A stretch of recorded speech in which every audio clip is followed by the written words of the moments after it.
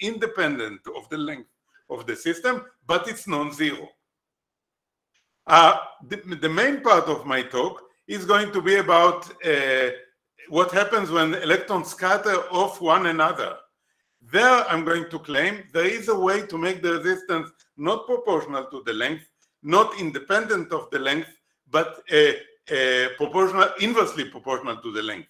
So the longer the system is, the smaller the resistance is. I should also say, uh, I should have said it earlier on, uh, as I said before uh, we started the talk, I don't see you. Uh, so if there are questions and so on, just uh, you know, speak up. Uh, so so let me start. Newton's theory tells us, or Ohm's theory tells us that when a current is flowing here from left to right, uh, there's no magnetic field, so nothing complicated. When a current flows from left to right, uh, there's a voltage, and the voltage is proportional to the current when both of them are small, and the proportionality constant is called the resistance. In two dimensions, the resistance is proportional to the length and inversely proportional to the width of the sample. I'm going to talk about uh, two-dimensional systems uh, throughout, uh, or at least quasi-two-dimensional systems. So this is the theory. Now, uh, how, how does he get this uh, uh, to this conclusion? Uh, the theory is based on a, a, a, a, relation between the momentum loss to impurities and the momentum gain by an electric field. Uh, the the, the uh, main quantity that uh, Drude introduced into the picture is the mean free uh, time or the uh, uh, scattering rate to impurities, one over tau. And what he finds is that the resistance is proportional to the length, as we said, and inversely proportional to tau, to the, to the mean free time between collisions.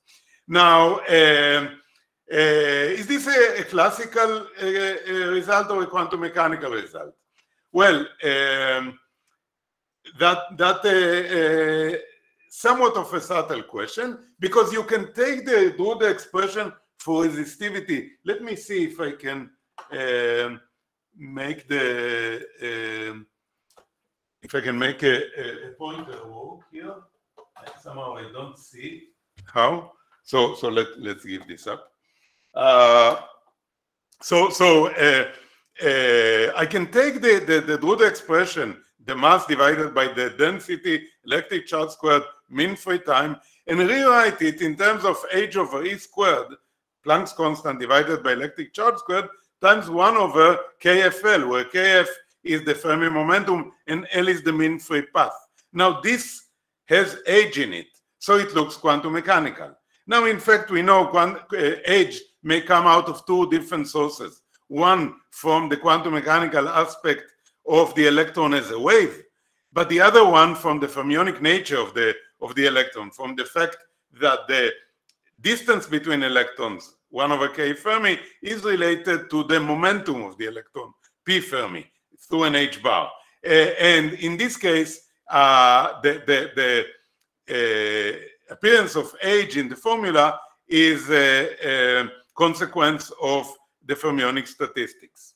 Now, can we make the can we take uh, the mean free path to infinity, namely take out all impurities and uh, uh, uh have the resistance uh, become become zero? The answer to that is no, and it was given by Landauer. And Landauer had a different formulation of the resistance, which I'd like to review now. But before I do that, let me just make sure you guys all hear me because I don't see you. We hear you well, Adi. Ah, okay, good. Uh, so, so you know, I don't know if if uh, if some uh, you know internet problem comes up, uh, send me an email and I'll see it on my cell phone. Sure, sure, sure. Ah, okay. So, so uh, what did Landauer say? Landauer thought about the problem in in a quantum mechanical way thinking about the conductor as a system connecting between two reservoirs, one uh, with a, a, a, higher chemical potential mu L than uh, the lower chemical potential on the right. So electrons that move from the left to the right come with a higher chemical potential than electrons that come from the right to the left. Now, uh, uh, Landauer quantized or looked, looked at the quantum mechanical channels that uh, go from left to right. And uh, for each one of them, he said, well, I'm going to think about each one of them as a parabolic dispersion where I have more electrons moving to the right than I have electrons moving to the left. And because of that, I have a current. But then in order to have that current, I need to have a chemical potential difference between the two sides. And then you carry out this calculation of the relation between the current and the chemical potential difference. And you find this very beautiful cancellation of the velocity, which comes into the integral because we're looking at current, and the density of states, which is proportional to one of the over the velocity, so that what you find is that the current per channel is E over H times the chemical potential difference. This gives the resistance as H over E squared divide, uh, multiplied by 1 over the number of channels. And the number of channels is Kf times W, the Fermi momentums times the uh, width. So we get a resistance. It's non-zero, but it's independent of the system's size. Now, uh, by this theory, and that's the point we're going to relook at, by this theory, uh, the voltage drops or the, con uh, the contacts. Now, uh, that's a quantum mechanical, very, uh, very deep analysis, but in fact, you can almost say that you could have uh, expected this just based on common sense. Because look at the resistance. The resistance, as we said before, is h over e squared, uh, 1 over kfl, times the, uh, the resistance, not the resistivity, times the length divided by the width. I can also write it as, as you can see on the right part of the, of the uh, expression as h over e squared 1 over kfw times the length divided by the mean free path. Now, you know, just think about it. If the mean free path is a, a, a kilometer or a light year, and the system is one centimeter, then the difference between a kilometer and a, a kilometer and light year is not going to matter. The system is not going to have any impurity in it. So when, when little l is much larger than a capital L, basically uh, this ratio between them can be replaced by one and you get the uh, Landauer resistance. Anyway, we have the Drude expression, we have the Landauer expression. Each one should have its own uh, regime of validity. Are they correct? Uh, let's look at the experiment. So, you, you know, my, my uh, uh, colleagues from, from uh, Ilani's group have this amazing device that I'm not going to describe in details. Uh, they have this amazing device that can measure the voltage at any point they want. Doesn't matter how they do that. They can measure the you you you uh, uh, tell them you want a, a voltage map uh, uh, uh, anywhere in your uh, sample and then measure the voltage at any point without attaching any contacts. so what you see here is they look at a piece of graphene and measure the voltage as a function of position. When the current flows from left to right, the system is in a, a diffusive state. It, it's, a, it's a dirty piece of graphene and the main uh, uh, reason it's in a diffusive state is not so much that it's dirty, but that the density is very uh, uh, small and therefore there's no screening of impurities. And you see the voltage drops linearly and in fact it follows Drude's theory uh, to the dot. Now, uh, then you, you turn on the density, you turn the density higher, which means the system effectively gets much cleaner because the impurities are screened. And look what happened. There is no voltage drop at the center of the device at all. All the voltage drops are at the two contacts, half at each, you know, distributed equally between the two contacts. And uh, uh, again, this follows the, the uh, Landauer prediction very well. Uh, so, so those are the two limits that we know. Adi, now, can I interrupt? Adi, can I interrupt yeah, sure. you here? Sure. Yeah. So this this thing being completely symmetric is it uh, is it fine tuned because of the experiment? Does the theory really say it has to be symmetric? I mean, uh, uh, it has right. to be that uh, much. But what about the symmetry? So so so the symmetry is not essential, and in fact, we'll see uh, uh, the main case. I'm going to talk about the Corbino case is, is very, un, very much non-symmetric. Uh, here the sample is symmetric, uh, and, and there is very, very little contact resistance. It's only the Land, uh, Landauer-Sharvin resistance that fall, falls there, so it comes out symmetric. But there is no law of nature that it must be symmetric. Right. Okay. Okay. Uh, so, so now what I'd like to talk about is can we make the resistance uh, smaller than the Landauer-Sharvin uh, limit? Uh, and the, the route I'm going to talk about is electron hydrodynamics, which is another way of saying scattering between electrons. So we're going to look at uh, the effect of scattering between electrons and ask, can we use this scattering? It's scattering, okay? Uh, can we use this scattering to make the resistance small? Uh, now, should we worry at all about uh, uh, scattering between electrons? Now, I'm not talking about scattering between electrons and impurities, just between electrons themselves.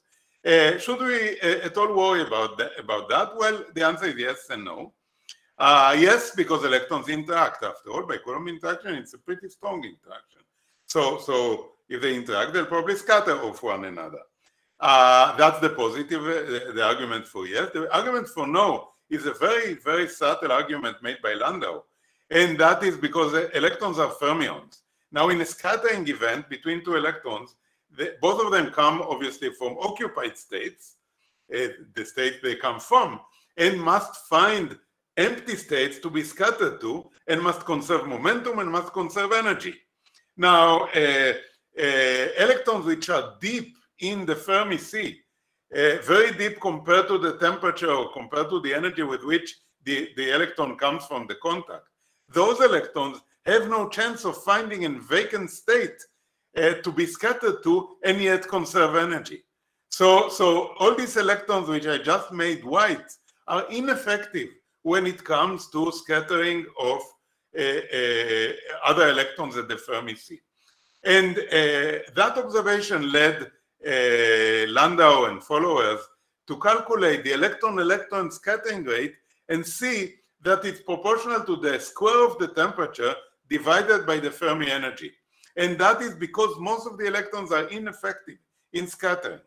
Now, uh, that's a very small number because uh, remember, the uh, uh, Fermi energy in two dimensions is proportional to the density.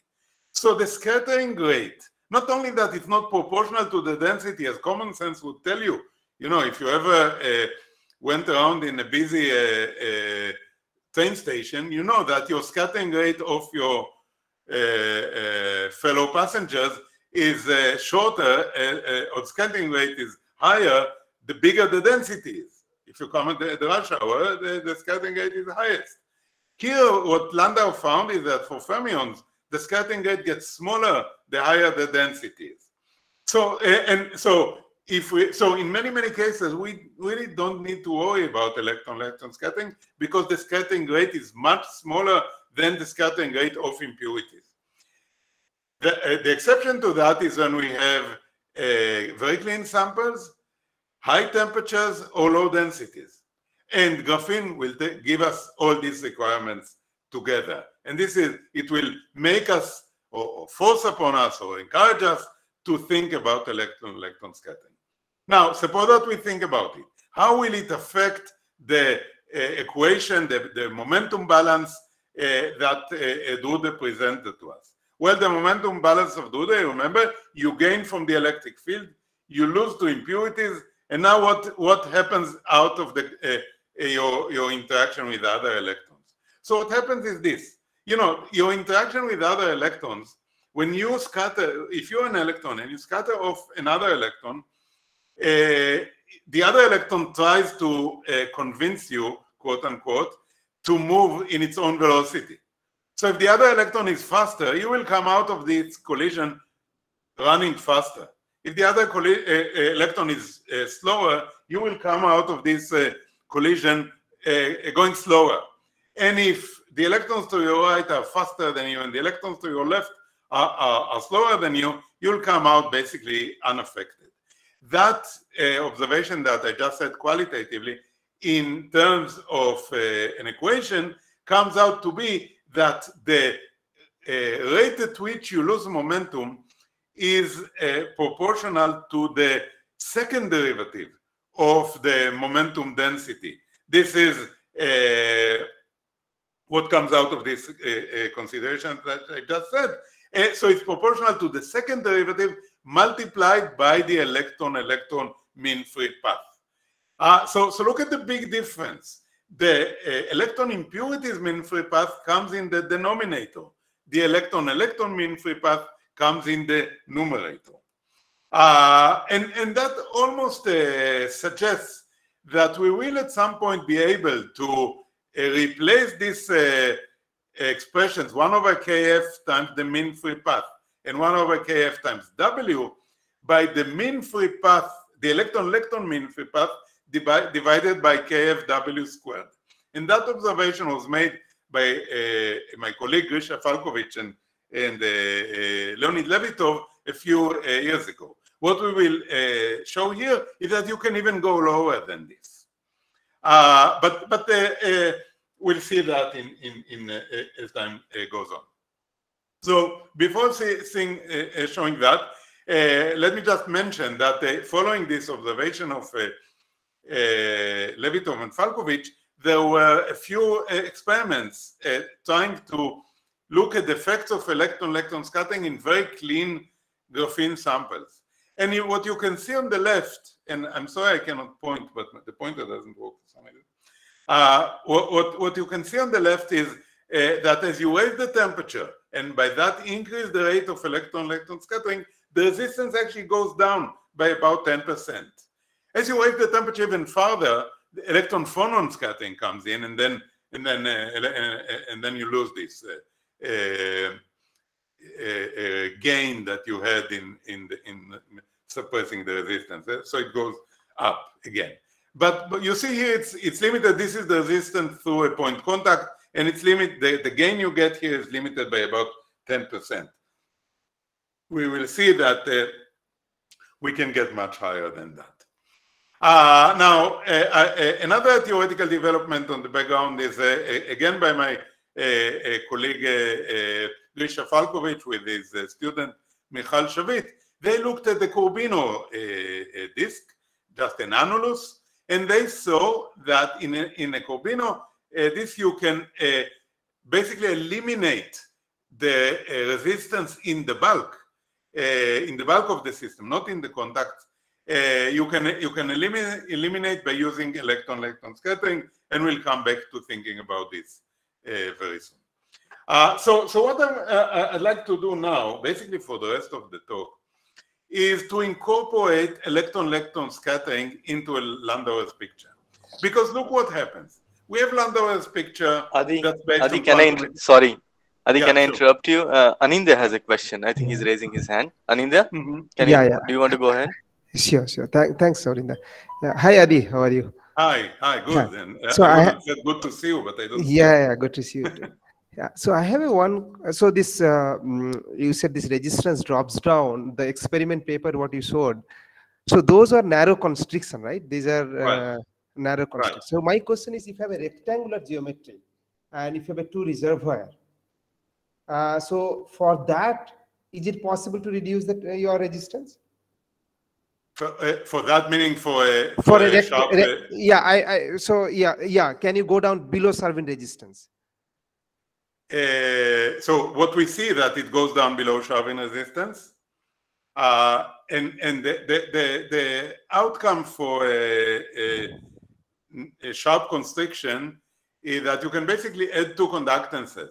You can add the, the electron-electron uh, induced conductance to the Landauer-Sharvin conductance that reduces the the uh, resistance but doesn't bring it down to zero. And uh, I, I, would claim that uh, uh, there's a better uh, geometry that can take you farther, and that's what I'd like to present.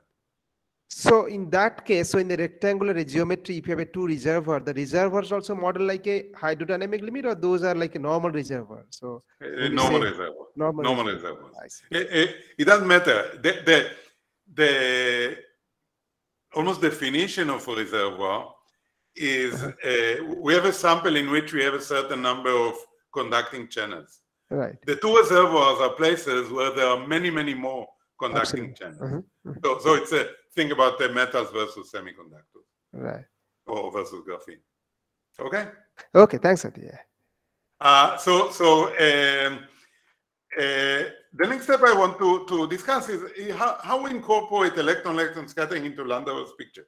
You know, Landauer's picture, it's not the non-interacting electrons picture, but it's but the effect of electron-electron scattering is missing there. Um, and, and, and we'd like to put it in. Now we know how to put the effects of electron-electron interaction into Drude, uh, picture. I just showed it to you. Uh, uh, but but uh, we want to uh, you know make it compatible with the Landauer's picture. That's very different from Drude. So so uh, that's what I'm going to to do now. And in case you know with you know internet is not always infinitely reliable. So in case we'll have trouble later, let me tell you the answer. And to, to understand the answer, uh, what, um, you, you, know, uh, uh, uh it's better to think not about the, the uh, plot you see at the top half of, of the slide, but at the plot you see at the lower half, meaning a plot at which the width of the uh, sample changes as a function of position, which means that there are channels that uh, start uh, going from the left to the right, but are going to be reflected at some point because the uh, because the sample got so narrow that the number of channels it transmits at the Fermi energy gets too small. And then some channels will be reflected not at the point uh, uh, uh, at the contact between the resistance and the sample, but somewhere along the sample. Now think about electrons that are flowing in those channels. They go from the left, they, they get out with the Fermi energy plus the voltage you put in, uh, the Fermi energy of the left uh, reservoir. They start moving, and you know, you and I, uh, we, we calculated the uh, uh, quantum mechanical spectrum of this of this sample. We know that they have no chance of ever making making it to the other side. They are going to be reflected somewhere along the way. They don't know it, but they are doomed. They are never going to, to make it to the other side. and that this reflection that will happen somewhere in the bulk is the source of resistance. And that's what I'm going to, to, to show. This reflection will uh, uh, generate voltage drop in the sample itself. Now, if we put in electron-electron interaction, what, what we're going to do is we are going to open a way for those electrons which are going to be reflected. We're going to open a way for them to be scattered into channels that are going to make it, that are going to go to the other side. So we introduce some kind of uh, electronic social mobility. We take electrons that are doomed to be reflected and we give them a chance to move to the other side. Uh, and uh, that will uh, reduce the, the voltage drop in the sample and uh, suppress the resistance. And what I'm going to, to argue is that this allows us to uh, uh, basically eliminate all the resistance drop, resistance drop that happens in the sample itself. Not the resistance drop that happens in the contacts, but the, the drop that happens in the, in the sample itself. So, so the, the, the, the uh, tool I'm going to use, the natural tool for this is Adi, Adi, Boltzmann equation. Yes. Adi, I have a question here. So yes. when you say this, when you have a squeezed number of channels, then there's a question of also occupancy. So now if you want to scatter into those channels more and more electron, they should be Fermi blocked, right? So that should also be something which should come into the game. You cannot course, indefinitely scatter into them, right? So, of course, so but don't, where, uh, don't forget, don't forget the voltage. Uh, it's linear response. The voltage uh, goes to zero and temperature is finite. Okay. okay. Because we need electron-electron scattering rate. So voltage is uh, much smaller than temperature, and that's that's what allows it. Okay. Uh, yeah. Please go ahead. Please go. Now, how low could the uh, the voltage be and, yet, and still be in the linear response regime is a good question, which I'm I'm not going to talk about. Okay. So can I ask a question? Yeah. Sorry. Oh, Bhaftoj, I maybe just one more question here and then you, you go ahead. In, in the Landauer picture, in principle, the self-consistent electrostatics is already inbuilt, right? Electrostatics, yes. That, uh, uh, that, was the, uh, the comment I made that the Landauer's picture is not non-interacting. Electrostatics is taken care of, but not uh, scattering. I, I, see. So that is the new addition essentially here. Yeah, yeah, exactly. Yeah. Okay. Oh, thanks. Uh, so, so the, the main tool I'm going to use is Boltzmann equation because Boltzmann equation, you know, it's the uh, uh, place for quantum mechanics and, and classical so, physics. Sorry, so just, just for other questions. Yeah. Uh, sorry. Muftash, go ahead. Yeah. Yeah. So, I'm done. Yeah. Yeah. So this, uh, so I guess you're going to talk about that, but the contact resistance itself is some kind of an impedance mismatch problem, which sort of uh, sort of depends on having pure quasi quasi particles with infinite lifetime. So what I understood, yeah, I'm, I'm going to get to the context uh, towards the end. Basically, okay. electron-electron interaction is it, it, doesn't do much when, when okay. it comes to okay. the contact. Okay. Uh, so so so uh, the tool is going to be Boltzmann equation. You know, in Boltzmann equation, we, uh, uh in Boltzmann's way of thinking, we have a, a the system uh, has a Fermi surface. Of course, Boltzmann didn't know that, but uh, it's a modified version. so the system has a Fermi surface at equilibrium it's uh, in its uh, you know thermal state. Out of equilibrium, it's uh, deformed by whatever forces we apply, and the quantity that describes the state of the system at any given point in time is the density of electrons in phase space, namely in as a function of position and momentum. Now, uh, here's a deformed Fermi surface uh, uh, slightly larger, uh, in fact, what we usually do is we don't talk about the uh, uh, density at any momentum, but at any angle, because we basically integrate over a momentum over the, the orange region, orange colored region that you see there, and, and we talk about the density at, at, uh, of electrons at the point R and at the angular uh, the angle of the momentum theta as the quantity that describes the state of the of the system. And you see, as you see here, it varies as a function of position. and once we know it, we can calculate from it the density just by integrated over, you know, integrating over the orange pieces around the uh, Fermi sea, or the current density by doing a weight, weighted integral of that density multiplied by cosine theta or sine of theta, depending which angle, which uh, component of the current we want to uh, um, calculate. Now, the measured voltage uh, at any given point is proportional to the density. Uh, so, so if if we uh, basically if we know the density, we should multiply it by the mu dn by the inverse compressibility, and we get the local chemical potential. Now, how shall we know this age uh, uh, of r and theta? Uh, well, uh, Boltzmann gave us the, the, the, equation that's named after him. And that equation basically says that uh, density in phase space uh, changes either by motion uh, according to equations of motion, namely according to the velocity and the time derivative of the momentum, or by scattering or collision collision term, and there are all types of scattering that comes into the collision terms, um, uh, impurity scattering, electron-electron scattering, and we'll have to worry about those soon. Uh, but now, if I want to Landauerize uh, the Boltzmann equation and make it look more like the Landauer picture, uh, that's what I want to do now, but I'd like to do it on a on an example, on a toy example, which makes it kind of uh, easy for me to explain what I want to explain. Uh, so so uh, uh, here's my my toy example. It's called the wormhole, and and you see it's a body of revolution.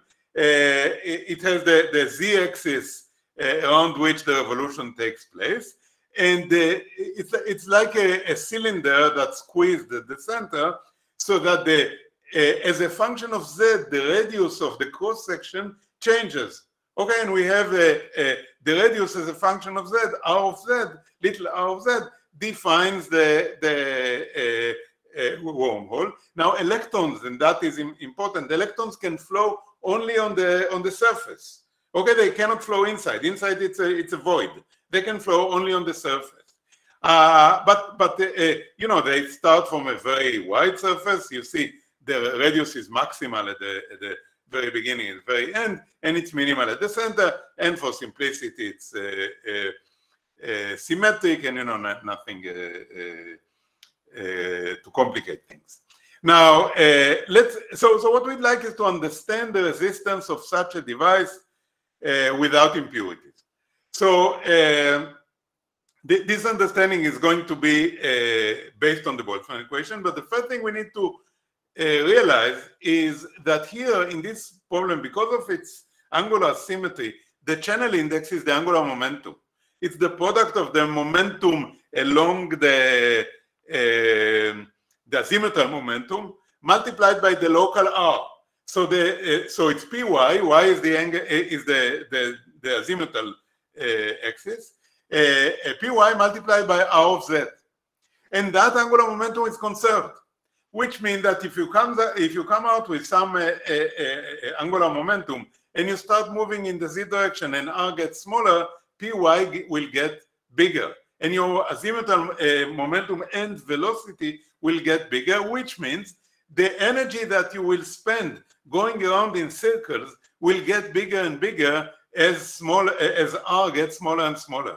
And if at some point, and this is a classical uh, observation, if at some point the energy that you spend, the kinetic energy that you spend moving around in circles, instead of uh, uh, progressing in the direction that you want to get to, the energy that you spend moving around in circles, if it gets as high as your entire kinetic energy, you're going to be reflected back because you don't have enough energy to keep both angular momentum and energy fixed and yet move into a place where uh, uh, R gets smaller and smaller.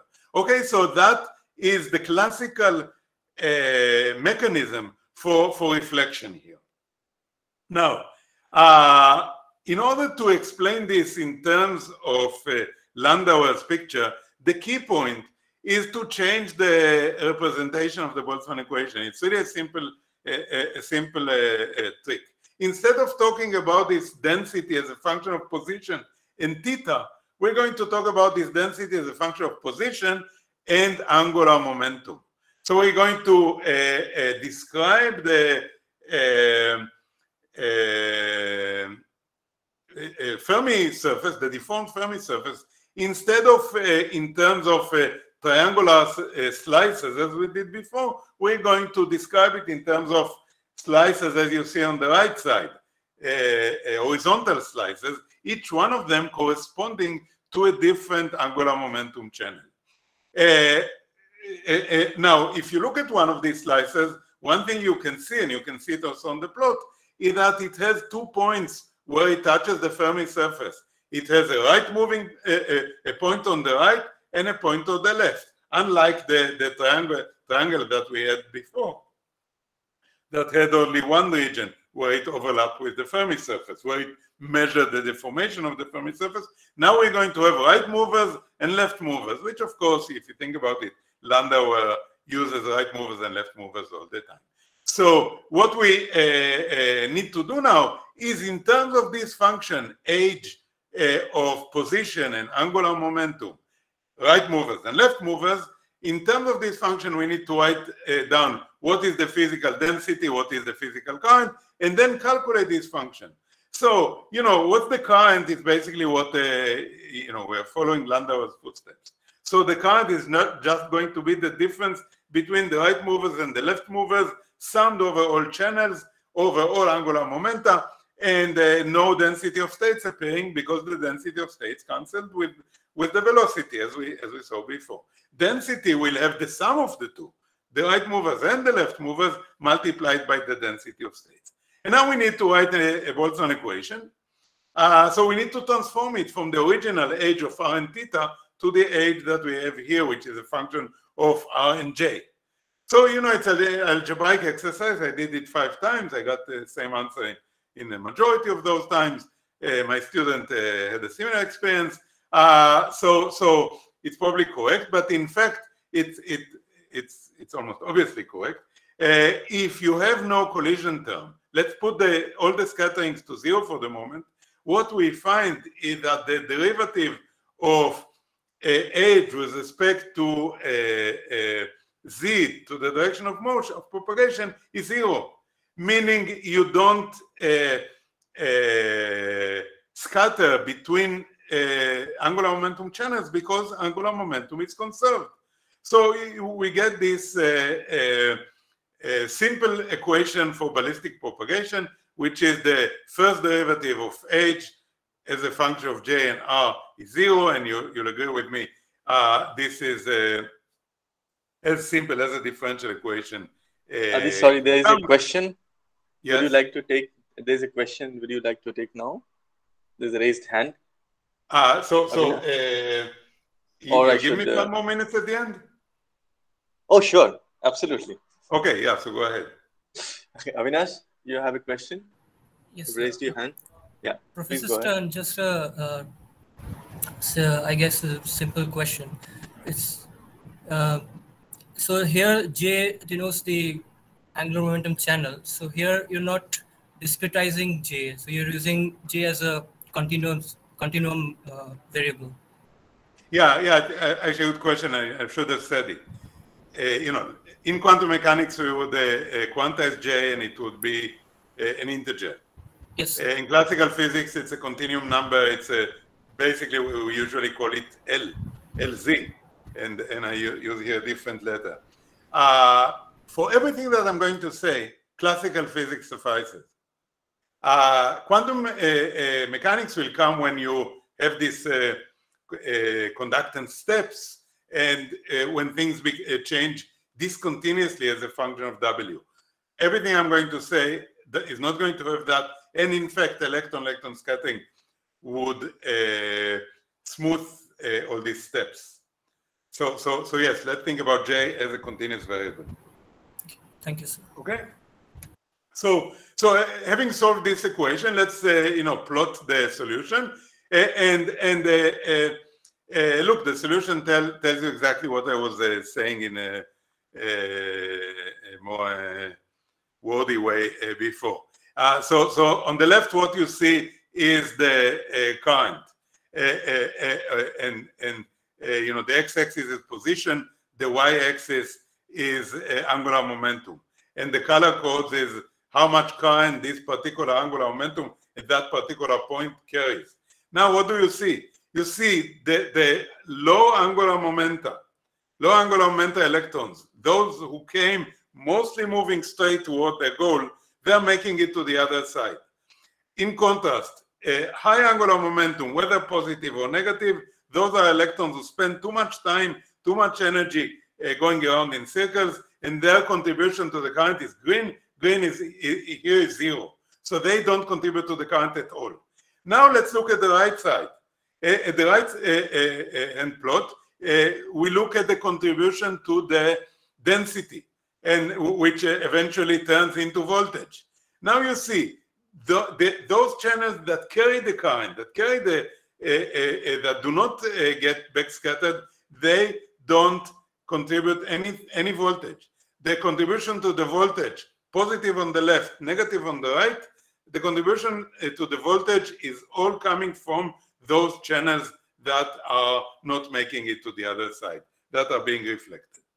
So, so uh, uh, now we can we can calculate just by integrating over all those channels. Uh, we can calculate what's going to be the local potential drop. And now look what what we are saying. There, there is a a system here that's totally ballistic. There is a Landauer Sharvin resistance, but it's not at the contacts. It's at the bulk. And it's at the bulk because the reflection takes place at the bulk and the voltage drops where the reflection takes place. So you see uh, the, the outcome of this integral, and you see that, you know, you get V of Z uh, uh, being proportional to 1 minus whatever, 2 over pi, arc sine of uh, R minimum divided by R of Z. The important thing, it depends on Z. Uh, and that is something that's uh, something that can be checked experimentally. So my experimental colleagues uh, don't know how to make wormholes, uh, at least as of now, they don't know how to make wormholes. Uh, so instead what they do, they take a, a, a Corbino uh, disk And you probably have heard about that from Chandan. That's his, his beautiful experiment. And, you know, it's an amazing piece of experimental physics that he and the others have done. So what they're doing is they measure the voltage. I told you they can measure the voltage anywhere they want. They measure it over uh, about 60% of the Corbino disk. They get a voltage map. Uh, they get a voltage map, as you see here, and they, uh, uh, uh it's azimuthally symmetric more or less, so they can plot it only as a function of R. And what you see is that uh, as a function of density, the mean free path changes, and the highest density approaches uh, the Landauer-Sharvin expected resistance, where the difference comes out of impurities.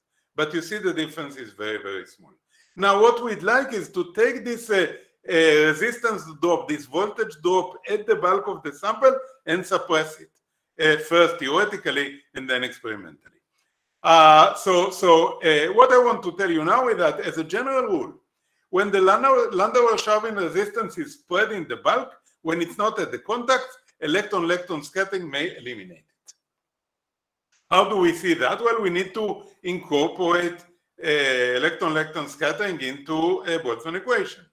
Uh, so what's, you know, it's a scattering. It will come out on the right side of the equation as a scattering uh, term, as a collision term. But uh, when we uh, uh, write it, we'll need to do two things. First, we'll need to write it in terms of channel, you know, h of J, R and J. So in terms of angular momenta.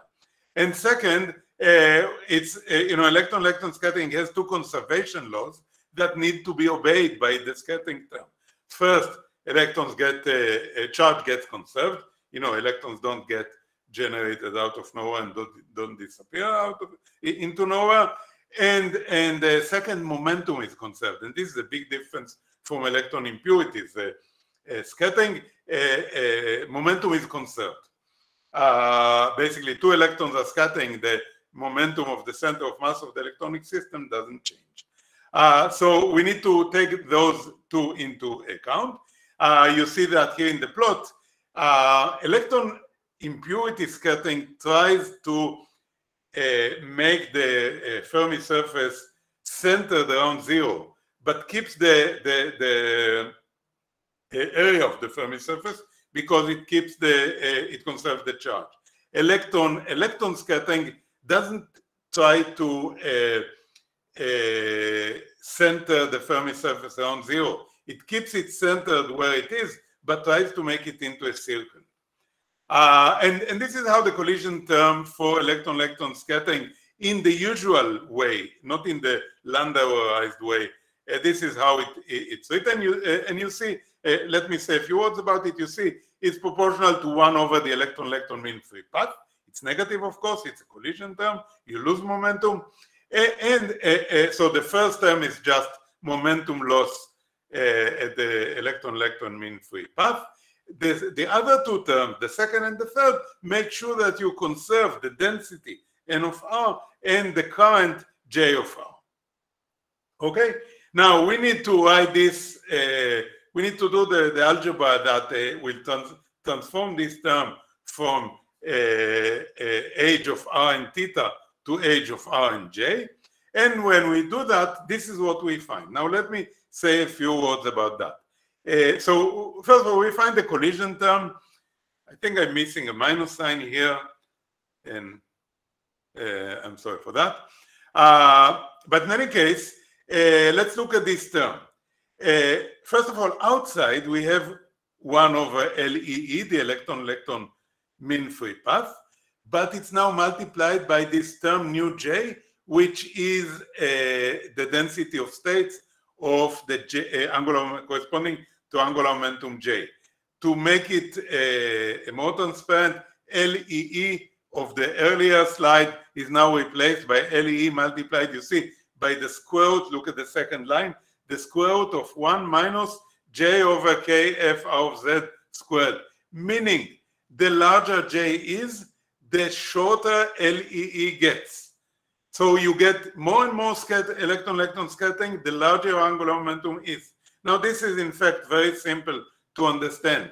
You know, the electron, uh, as the, the, the, higher the angular momentum is, the uh, more electrons spend time just moving around in circles. And they make very small uh, progress in the z direction. Now, LEE is the electron-electron scattering rate measured along the z direction. So the uh, higher angular momentum is, what's going to happen is you're going to move around in circles, make no progress, and be more and more susceptible to scattering of other electrons.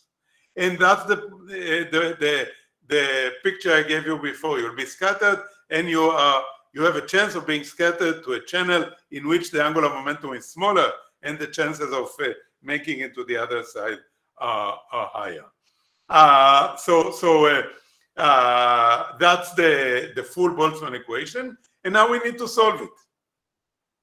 Easier said than done. Uh, but uh, uh, you know, solving it exactly, I didn't, we didn't find a way to do. But what we did find a way to do is to uh, solve in powers of electron-electron uh, uh, mean free path. So in powers of LEE. Uh, and now, uh, in, in some sense, you can say this is a, you know, LEE is not a dimensionless number. So, so it's LEE divided by the scale over which the radius changes.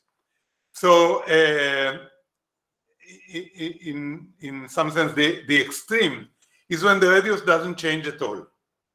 So, so that means you have a cylinder.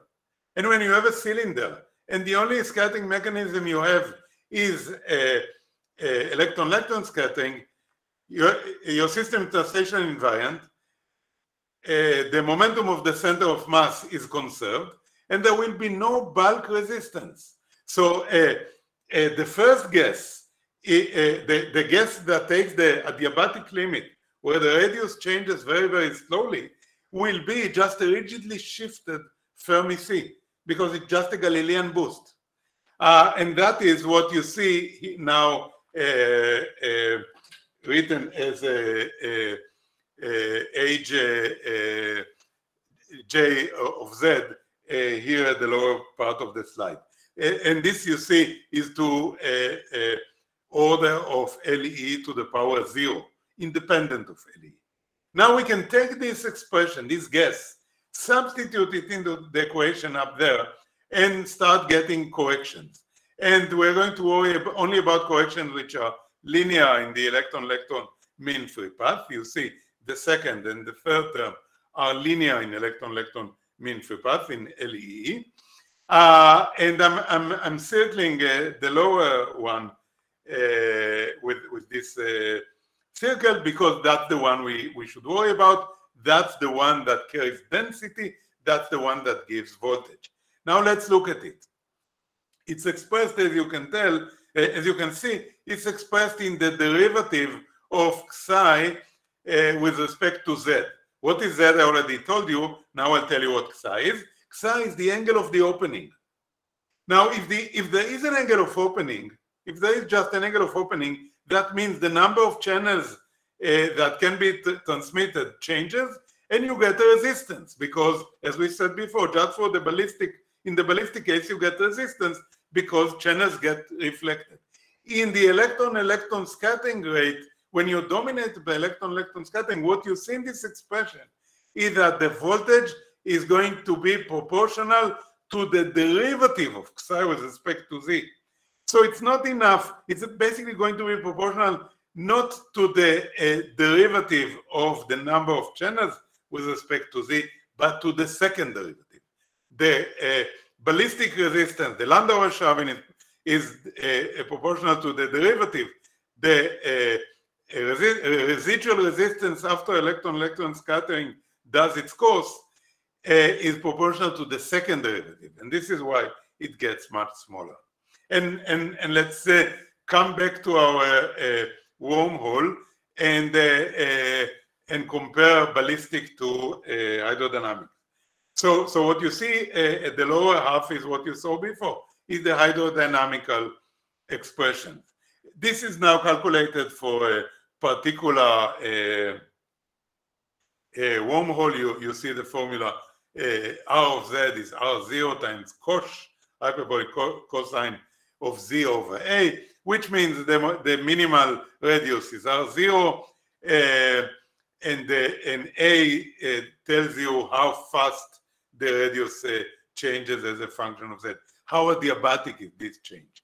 Now, what we see on the lower side, as we said before, in the ballistic case, either a, a, a channel is fully transmitted, in which case it contributes nothing to the voltage, or it's reflected, in which case it contributes heavily to the voltage.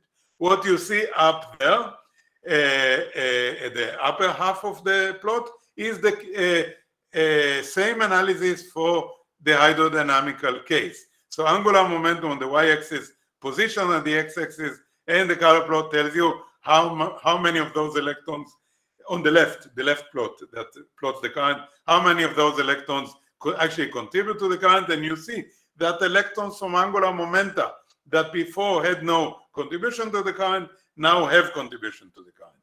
And on the right, you see that uh, uh, the distribution or the contribution to the voltage uh, is now more evenly or more Eh, eh, eh, evenly spread but the main thing you should watch when you look at the at the right plot is the color the, the color scale on the on the to the right of the plot and compared be, between the ballistic and the and the um, hydrodynamical. You see that the uh, color scale changed by a factor 10.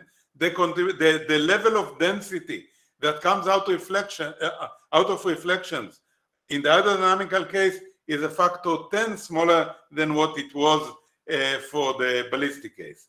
To look at it differently, here what I uh, plot to you is the voltage as a function of uh, uh position, now which is the integrating now over all, all j's. And what you see in blue is the ballistic case, and in uh, and the other two uh, are the hydrodynamical case. And you see the voltage drop gets down uh, uh, significantly, in one case more significantly than the other. Now, what's the difference between these two? Uh, it is how, how fast you open up the radius from R minimum to R maximum. Uh, and that's the scale A that I uh, uh, defined before. In this slide, it's called L, but never mind. Uh, this is how fast how fast does it take be, before the minimal radius opens up to become you know five times the uh, its minimal value. Uh, if uh, um, the, the, the minimal radius is much smaller, is much larger than this L, uh, uh, namely this L is very small and the opening takes place very fast, electron-electron scattering reduces the resistance from uh, Landauer's expression uh, or multiplies the Landauer expression by the ratio of LEE divided by R minimum, which is what we called before LEE divided by W. But if the opening is adiabatic, it's even more dramatic and the electron-electron scattering leads to uh, multiplying the Landauer-Sharvin resistance by LEE over uh, the essentially the system size. So the resistance decreases with uh, uh, the system size. Now, as I hinted, I'm, I'm, I'm going to be done in two, three minutes. Uh, as I uh, uh, hinted before, at the contacts, what happens is everything changes very fast. Very fast on a scale of LEE. And, and then electron-electron uh, scattering cannot do anything when you have a reflection that happens on a scale that is shorter than the scale at which you get uh, scattering. Uh, so, so, so contact resistance is not going to be affected. And in a Corbino uh, disk, the significant contact resistance is, is the inner contact. I think it was Sharon who asked about the symmetry between the two contacts. Uh, uh, so a Corbino is a case where there is very uh, large asymmetry. the, the, the, the, inner contact is very small, the outer contact is very large, and uh, uh, the other the resistance of the other contact is not significant.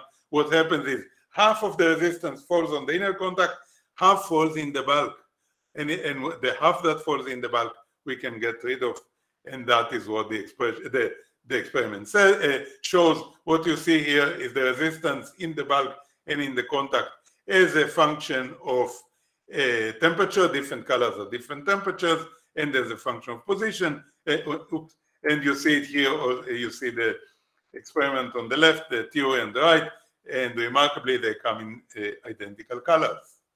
Uh, and, and they also look pretty uh, similar to, to one another. And the, the bottom line is uh, the Landauer-Sharvin resistance, when it's spread in the bulk, can be eliminated by electron-electron scattering. So to summarize, uh, you hear me? I hear some some uh, strange noise. No, no, we hear you. Ah, okay. Adi, we hear good. you clearly. Good, good, good. Uh, so, so to summarize, uh, what I told you is that ballistic motion is a waste, wasteful way to drive a current because electrons go out of the uh, reservoir even though they don't they have no chance of making it to the other uh, reservoir.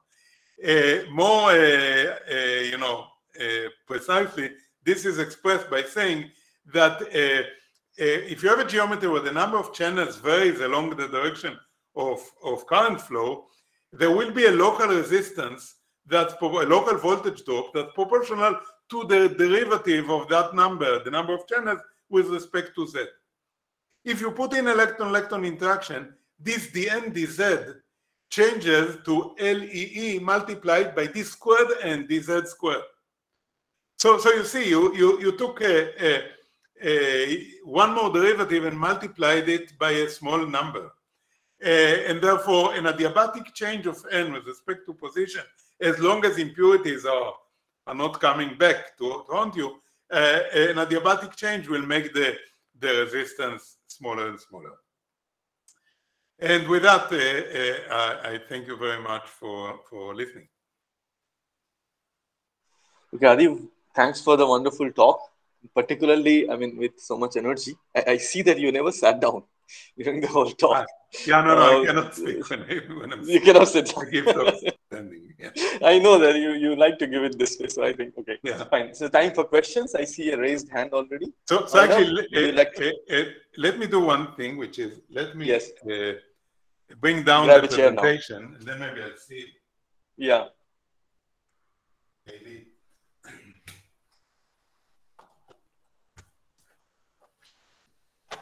Stop sharing if that's okay.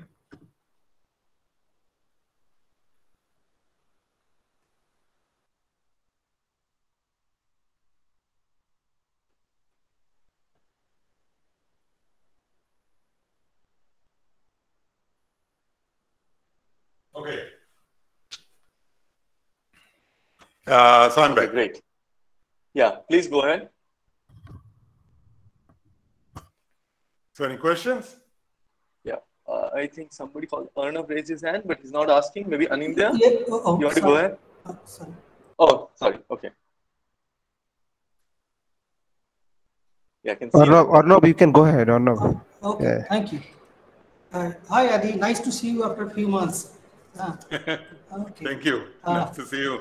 Okay. And um, so um, it's not clear to me what is the advantage of Corbino safe geometry to study hydrodynamics uh, over uh, graphene constriction in usual Hall bar device? So, so the, the, the point is the, the reflection of channels in a Corbino geometry is, is gradual. Basically, the NDZ is proportional to Z. Mm -hmm. Right. Uh, uh, uh, so, so the uh, excuse me, n is proportional to z. So the n dz is a constant. So, so the, the change in the number of channels is gradual. Now, in a, in a, a sharp constriction, um, the, the, it's the other limit. The change is very fast, right? You change on a scale of the size of the constriction. And that's where ele electron-electron scattering is less effective in suppressing the resistance. Mm, okay. Uh, okay. Uh, yeah. Um, I need. I need to. Uh, yeah. We can discuss. So, and in fact, you know, as, as as you could see, the way we solved the Boltzmann equation was assuming that LEE was the smallest scale. Mm -hmm. Now, um, Falkovich and Levitov and, and, and I think one or two more co-authors solved it for the case of a constriction. Mm -hmm uh, which is a delta function constriction. And, and you see, you get a different answer. Um, and you basically get a, an answer that uh, doesn't allow you to suppress the, the resistance all the way down. Okay, I have a uh, small questions uh, from this Kumar uh, al. this nature physics paper, uh, where uh, they have uh, seen that this decreasing the constriction size, they are getting higher and higher contribution of hydrodynamic um, electron conductivity.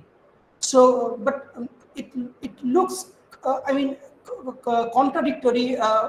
so when you are uh, decreasing the constriction size, you mean you are decreasing the width, uh, but uh, to get a strong hydrodynamic effect, you should get the LEE much, much less than W, right?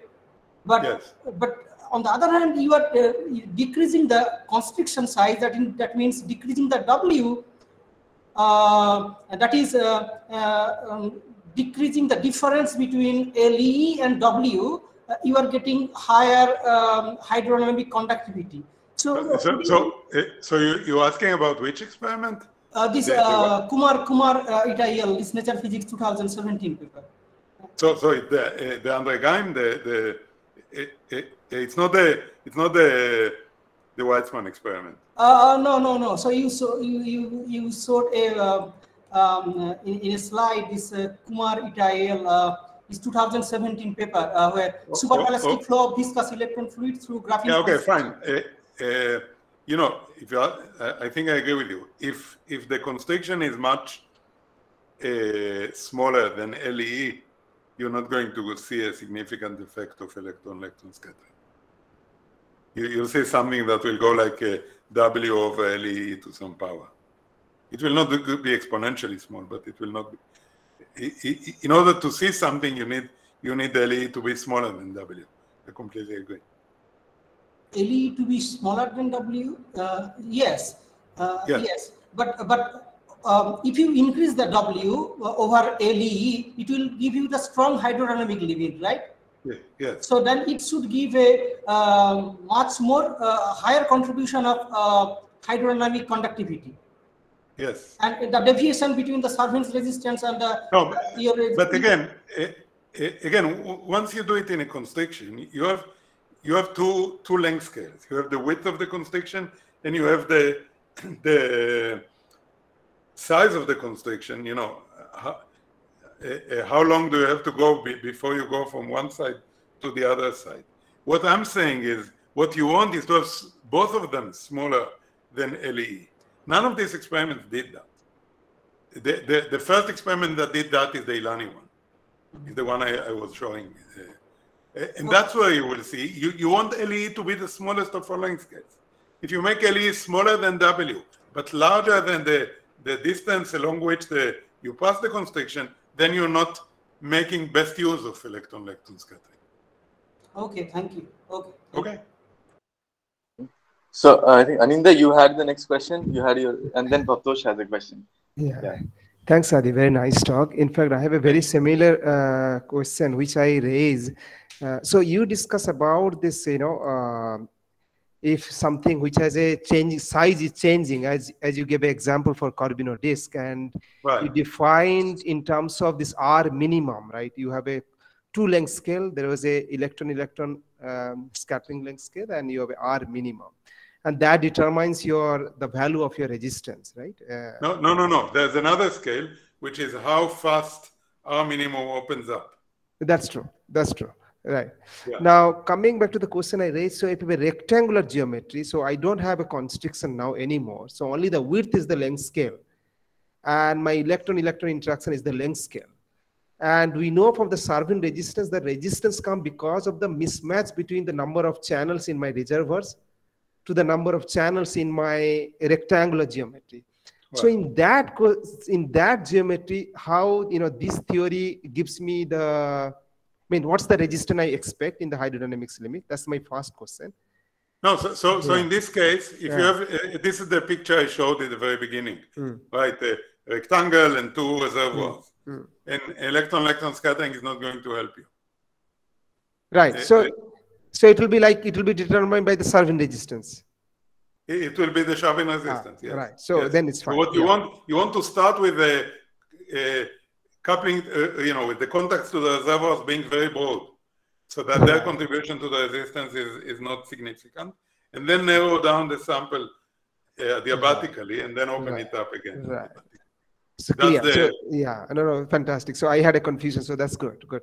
So my ne- next question was, if I have a, let's say, if you have an arrow, if you have the way you you, you have uh, uh, you have illustrated that there's a, there is a constriction. Now, let's say I have a transmission. I have some sort of some sort of transmission there, some sort of uh, some quantum point contact or something like that. Then well, how this? Uh, so so you have r minimum, right? You have something yes. Uh, this this thing. So uh, imagine that there there I have a QPC or something like that, which has a finite transmission and finite reflection in terms of Landauer theory. Mm-hmm. So now, now how this hydrodynamics picture is going to change? Is there is going to be something beyond that? So the question is, uh, how fast does the reflection of channels happen? Yeah. So if your constriction changes the number of channels from you know a, a 20 to 10 over a scale that's much smaller than LEE, then you're going to get those 10 being reflected and, and, and you're going to get the Sharvin resistance associated with the reflection of those dead channels. Uh, your, your way of uh, avoiding this resistance if you make the, the reflection gradual, which means you don't put a constriction. You, you put a, an adiabatic uh, mm-hmm. a constriction, and by adiabatic I mean adiabatic with respect to the LEE, not with respect to lambda Fermi. Mm-hmm. Okay. So you no, mean to say uh, if I have a, just last one, sorry, sorry, yeah. If no, no, no, sorry, please go ahead. So if you have a finite potential barrier, like a quantum mechanical barrier, so this hydrodynamic will not help me. Right, right. If the no, if the barrier is very smooth, ha, smooth, then, then yes, yes, yeah. Uh, so the, the point is not potential barrier, not potential barrier. The point is adiabatic or sharp. Yeah, yeah. You want it to be adiabatic. If it's adiabatic, it's basically everything I said will work. Thank you, Adi. Thank you very much. Uh, Adi, sure. just just to clarify, I, I think uh, what Anida was saying is that if you have a have a barrier right at the constriction, uh, that barrier only will see those electrons which make it to the constriction. Those it will not see those which do not make it. Yeah. So he's asking basically if I put a, an official, let's say I put a delta function barrier right at your nice wormhole geometry right in the middle, then what should I see? And then probably. So, so, so uh, yeah. he, he, that, that's what I said. So suppose that uh, you know you started from a thousand channels. By the time you got to R minimum, only hundred were left, uh, and and that's fine. You don't get the voltage out of that because you have electron-electron scattering all the way from all the way when you reduce from thousand to hundred. The uh, electron-electron scattering very effectively eliminated the voltage drop.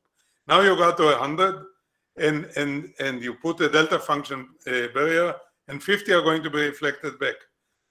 Their contribution to the voltage is not going to be eliminated by electron-electron scattering because it's not adiabatic anymore. Yeah, okay. Thank you. Bhavtosh, you had a question? Yeah. Yes, I'm sorry. This is uh, probably something which I should have learned in school because we never actually learn about electron-electron scattering. Uh, so the question is, um, what I understood. So basically, what is happening is that because of uh, scattering, you are letting the modes to hop. Basically, the electron can mode hop and go into the uh, channels which conduct. So the question is that why is it that impurity, of course, impurity scattering, uh, you lose momentum and it causes resistance. But why is it that electron-electron scattering doesn't do the same thing? So somehow it, there's something which is very special and dif different between impurity scattering electron-electron scattering. Yeah, yeah. Well, electron-electron scattering does not you know, conserves momentum because the potential is a function of the distance between two electrons. Uh, so the, the, their total momentum is conserved. So there's no dissipation. Uh, and, and they are flowing. Now, uh, also the total momentum of the electron and the impurity is conserved in a collision between an electron and an impurity. But the impurity is, you know, glued in, in, in, in concrete to the lattice, which is glued to the rest of the lab and to the earth and so on. So uh, the, the momentum is uh, mostly given to, to, to that, and that doesn't contribute to the current. Okay. So, but in general, there is dissipation because of electron-electron scattering, right? So why is there dissipation in general and not in this case? I don't know. This is not a very well-framed question, but yeah. So, so whether there is dissipation or not is a subtle question. Yeah. Um, um, and, and at low voltage, at low current, there won't be any dissipation because uh, uh, all the you know the energy when you have a scattering event between two electrons, the momentum stays within the system, the the uh, energy stays within the system. So so uh, whether you call it uh, dissipation, it's it's within the system that flows. Uh, dissipation is when you hit the sample. That, that's not heating yet. Heating is when, when those electrons scatter off phonons. And, and we're talking about a device where that scattering doesn't happen along the flow of the current. Okay, so, so, so that's the point. Thanks. Any other questions? Please unmute yourself and ask.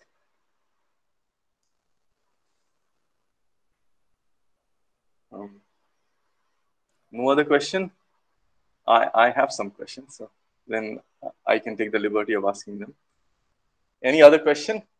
So you speak from two uh, windows, right? Yes, I do. Just, just as a safety measure, you know, Adi. If I'm kind of because I'm also a doorkeeper, so I'm logged in from the you know the the account which uh, corresponds to this DPS talk, so that I can let people in, and then my personal account to which I listen to you. Okay. Okay. So maybe nobody, if nobody else is asking question, I, I would like to ask a few questions. So, so okay, this, I, uh, this, I, just I just have to to uh, drink some water. I'll have to stop in five minutes. Sounds good. Sounds good. I think I'll communicate the question in five minutes. Um, uh, so the question, I think what you are saying is that because if there is a sharp change of density of states, then wherever this sharp change of density of states happen because of channel difference, you have the resistance localized there. After that, if you are ballistic or whatever, doesn't matter because the sharp change was there. That is a Sharvin resistance. Now, what you are doing is you are adiabatically distributing that sharp resistance all over the place. That's the first step, right? And then you're bringing in uh, electron-electron scattering such that even that resistance can be eliminated. These are the two steps you're following, right? Exactly. So I, I think the question would be, and then you chose the wormhole geometry. So given that, let's say I'm in two dimensions, I assume that I'm in two dimensions strictly then what is the best? Is there a limit to the best you can do to kind of uh, slowing down this rate of change of uh, change of you know the channel numbers? Uh, you you already yeah. so wormhole geometry is already optimized in that sense. That's the first question.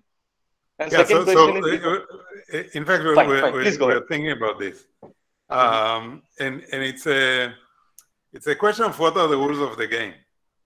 Yeah. Uh, you know, what do, what, what do we need to keep fixed? So if you tell me there are no impurities in my world, I can go to a distance of a thousand kilometers and not see any uh, impurity.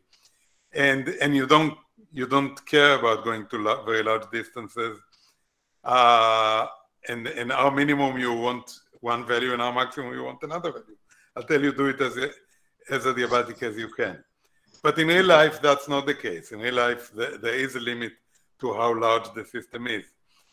Uh, so, so, so you need to tell me what you fix, and then uh, it will become an optimization problem. Okay, so I'll say that whatever is available in Shahal Ilani's lab, given that constraint, what is the best geometry you have in mind? Have you? Do you think you have already gone to the best geometry, or something else is there? Sorry, if it is a secret, I don't want to ask that question. But if not, no, no. Uh, the, the, point is not a secret. The point is uh, what exactly they can do, what they can do of a you know, lunch conversation, whether okay, fine. as opposed to what they can do in real life. Uh, yeah, okay. Uh, I think that it, it would be nice to have a, you know, what's the problem with the Corbino? The problem is you, you, we, we do not know how to get rid of the inner content. Inner one, inner one. Uh, so maybe if we could uh, somehow do something that uh, goes like that in the third dimension. Now, if you can play with the with the graphene and form something that uh, looks like a horn, then then we could get rid of that. Uh, that's a direction I was thinking of. But uh, none of this, you know, Corbino is relatively simple to produce.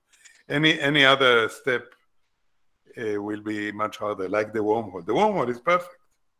Just just yeah, go and do it. It's so difficult.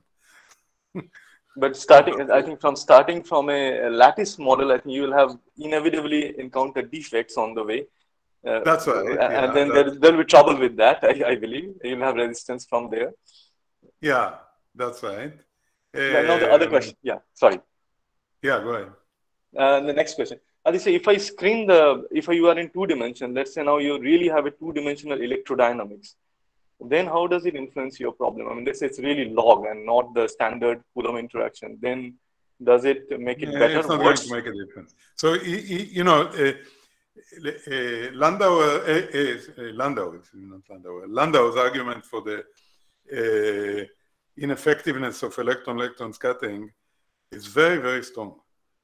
Coulomb interaction. No, that, no, no, that, that I understand. Adi, Adi, that's not the question. The question is in terms of geometrical constraint. Does it help you or make it worse if you are if you have a constraint from the experiment? Think that you have this much size, some finite size. Then if you screen uh, it, I don't. I don't think it will make a difference. It won't. It won't. Okay. Okay. Uh, I don't think. Yeah. And what about three-dimensional material? You don't have the right parameters for them so that you can try this in three dimension, is it?